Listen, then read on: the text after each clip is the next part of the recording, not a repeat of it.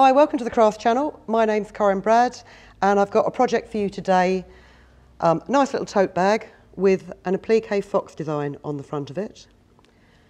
And uh, I'm going to show you how easy it is to get your applique pieces using an electronic die cutting machine like the Brother SDX 1200 which I've got here which is quite nice and new and is actually my new best friend. So it's really good for cutting fabric because a lot of the time I've used electronic cutting machines for card making and things like that and I've always been a bit wary of fabric because fabric doesn't sit as flat as it should do and multitude of problems sometimes but touch wood things are going quite well.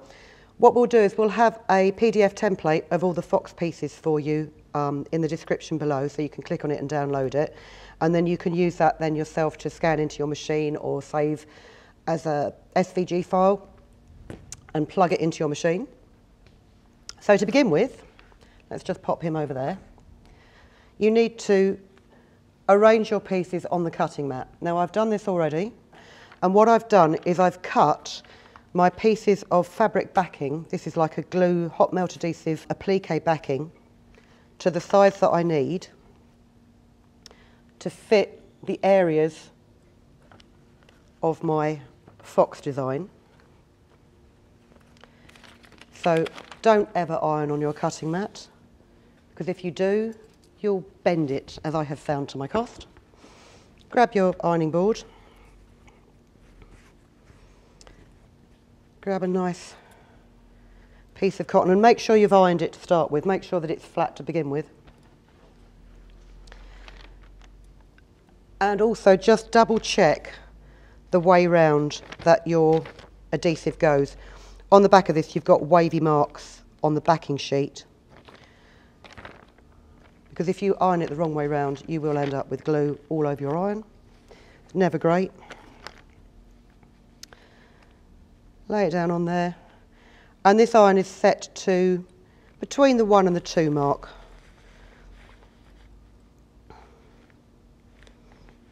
You don't need any water with it, but you do need to make sure that your adhesive backing is on there smoothly and it's worth flipping it over just to double check there aren't any wrinkles in your fabric.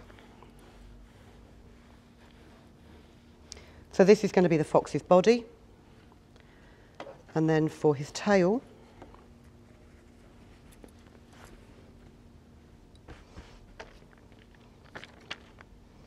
Again, just double check which way round. You'll soon know if you've put this on the wrong way round because your iron won't move.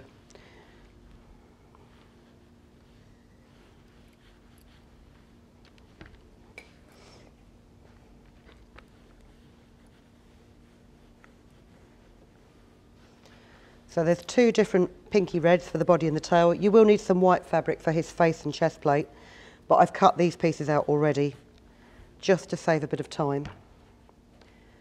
And I've also got a small piece of navy fabric, the same fabric that the bag is made out of, just for his eyes and nose.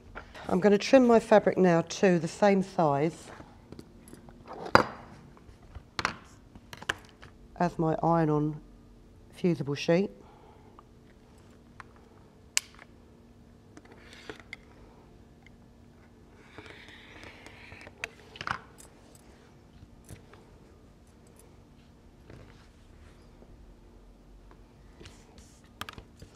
And also I'm just going to make sure that there aren't any odd bits of cotton and thread because in a minute I'm going to stick this onto the cutting mat of the Brother SDX and I struggle enough to keep my mats free of dog hair and dust as it is so I want to make sure I can keep it as clean as humanly possible.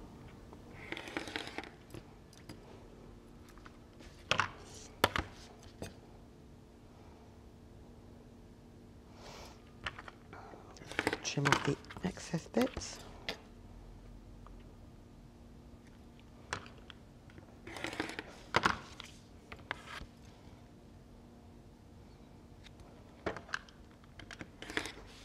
Those two bits can go in the bin. That bit, because it's bigger than a stamp, can go in a scrap quilt somewhere, because you know I never throw anything out. So there you've got your three pieces of fabric. Now, grab your cutting mat and bear in mind with the SDX it goes in arrowhead first. And they always supply a protective sheet to cover the sticky. When you're not using it, put the sheet back on again. Saves you a lot of trouble. And then you need to apply your fabric to your mat. So this is a standard tack mat.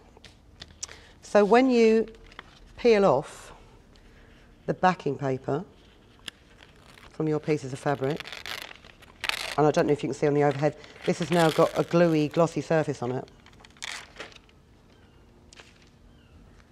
The glue will stick to the mat, but because it's um, a, a heat releasing, a heat activated glue, you can peel it back off again.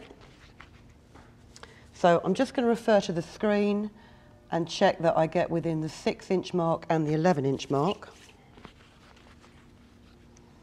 like so.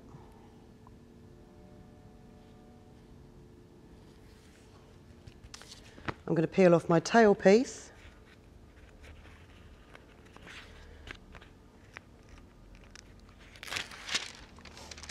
It's always worth saving these bits of backing paper for greaseproof projects and, and things like applique projects and foiling and stuff like that because they're really handy. Right, and I need to make sure this is within the 3 inch and the 10 inch area. And then there's just a small piece of the nose and mouth which goes in a sort of 2 inch square. So let's just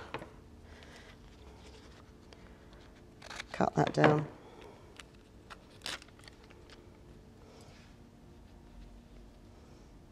and put that in there like so.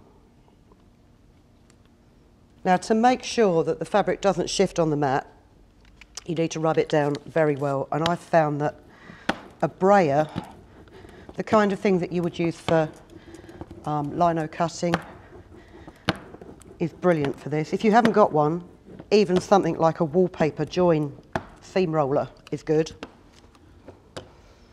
And press it down well just to make sure that it's in there securely because with a scan and cut machine, rather like a pair of fabric scissors, you want to keep your fabric for cutting fabric. If you use your fabric scissors on card, it will blunt it.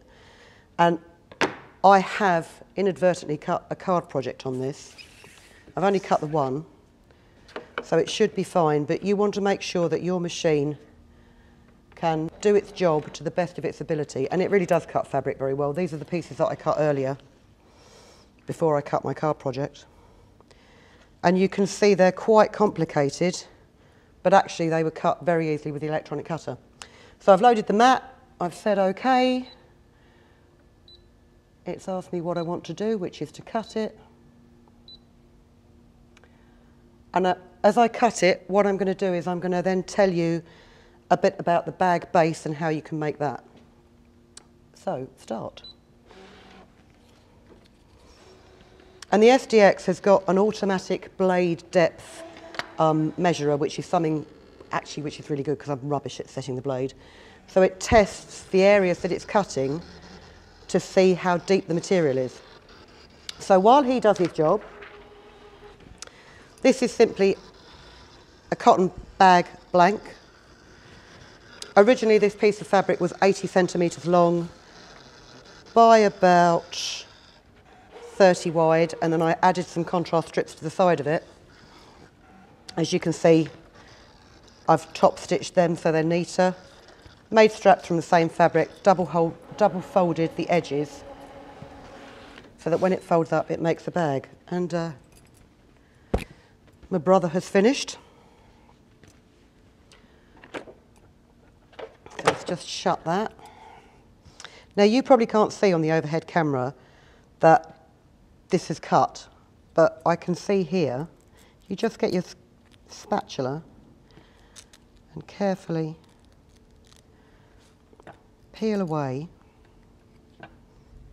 the pieces that you need, like so.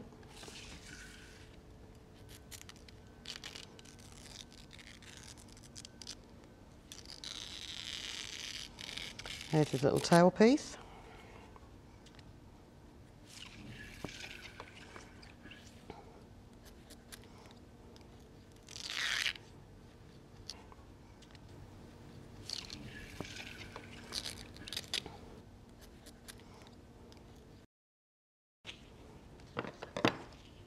Now if you're tight-fisted like me, you're going to save these pieces and you're going to cut very small applique letters out of them in future to use in other projects.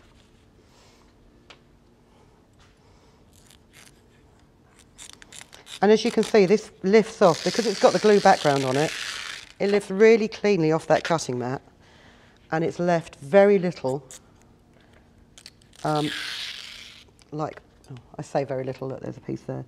It's very li little residue in the way of sort of fibres and things like this. But as, um, as I mentioned before, when you're not using your cutting mat, just pop your protective sheet back over the top of it and smooth it down so that it doesn't get quite so much dog hair on there. So you've now got your pieces and you've got your fox body. You're not going to see this on a red mat, are you?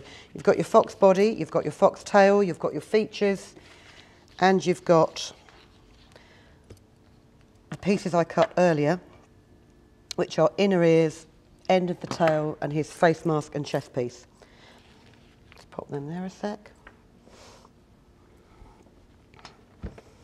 Grab your ironing board, grab your bag blank, and I have pressed that bottom seam so I know where the bottom of the bag is.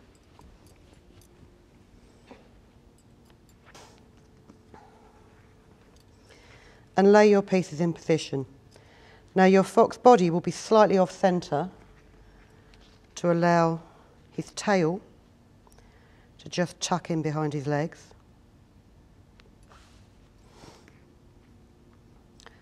The tip of his tail Oh, let's bend his tail out a little bit. The tip of his tail will go here. And the other pieces, what I'll do is I'm just going to fuse the body and the tail in first. And again, it's one of those things, try to just press. Don't iron because you risk shifting pieces. So just press it so it's held it in place. And then you can pop your tail on.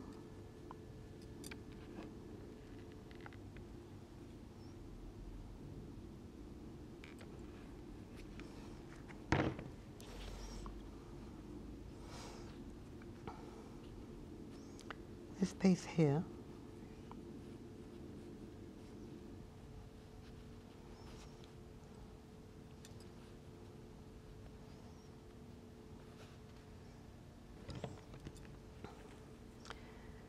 have his inner ears.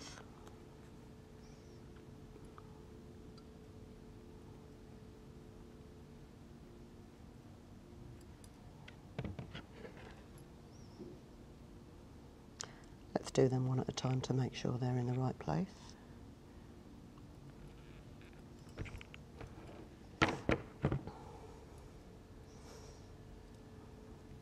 His nose and mouth. Don't be tempted to put his nose and mouth up at the top of that. This piece here is supposed to indicate his snout.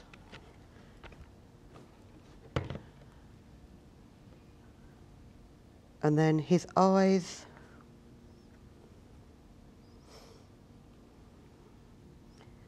You want to position them so that they run in line with the snout and try and make them as level as possible. There's nothing worse than a wonky-eyed fox.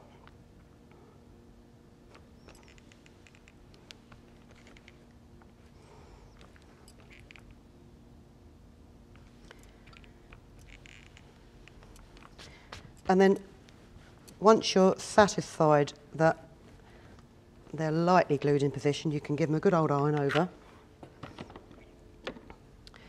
And then you can begin the job of stitching it in place. Now what I've done is I've actually done a bit of embroidery to do the features on his eyes, but you can see here that I've held these pieces in place with a simple zigzag stitch. I'll just show you quickly how that's done. But I'm not going to do the whole zigzag because that will take forever. But you do need to do your zigzag stitch before you sew your bag together. So let's just get rid of my ironing board a second. Um, set your machine to a zigzag. Set it to about two millimetres by a millimetre and a half long. I'm now going to try and sew standing up, which is always good for a laugh. And try and make sure that you match the colour of your thread to the colour of the piece that you are sewing. So white tail piece, white thread. And then just follow the line around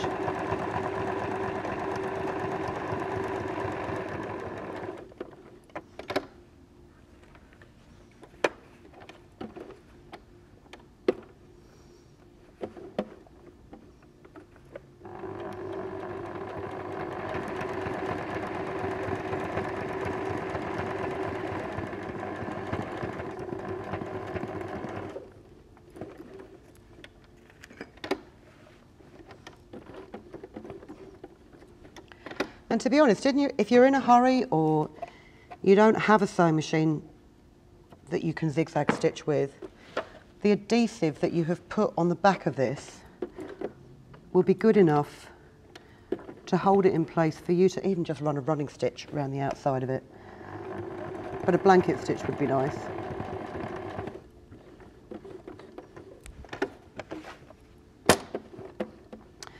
And when you're doing the tricky pieces, you're best to keep your needle in, lift the foot, pivot the fabric.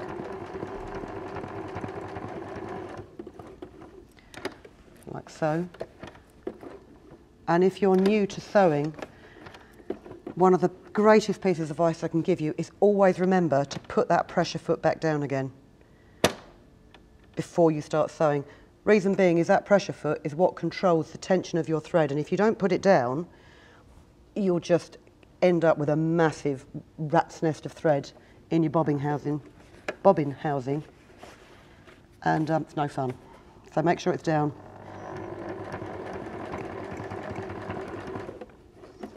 I've got friends that I've taught how to sew, and that is the biggest and most common mistake that any of them have ever made. Because it's an easy thing to forget.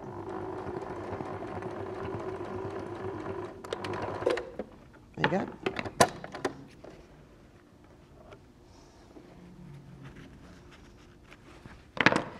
So you would ideally sew around all these pieces and then quite simply turn your bag inside out. These edges of this bag, what I've actually done is I've run a zigzag stitch down the edges of the bag so they don't fray. Match up the top of the bag.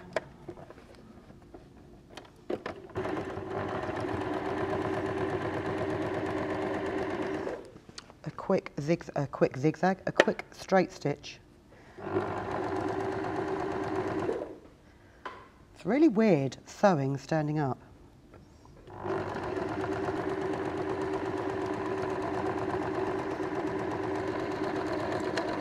I remember when I was at school and we did domestic science, our teacher always told us that there were certain things we should check before starting to sew, and that was that your machine was threaded up properly, that your foot pressure was at the right, and when you grow up, you think you don't have to do those things. And you do have to do those things. I'd actually taken my foot pressure off for the last thing that I was sewing.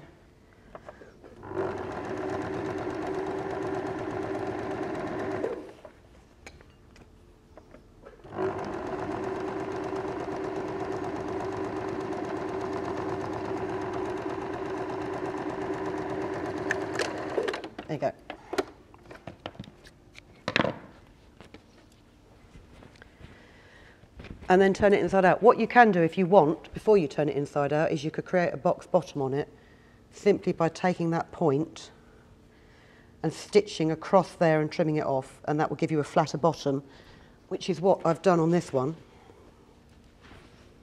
as you can see there. But I'm not going to on this one. I'm just going to push the corners out.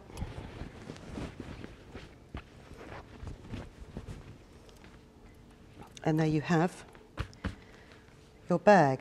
And for those amongst you that are going, oh, what a waste of fabric, can I just assure you that when I get home, I am going to unpick those side seams and I'm going to applique the whole lot because I don't like wasting anything. I just haven't got time to do it for you today.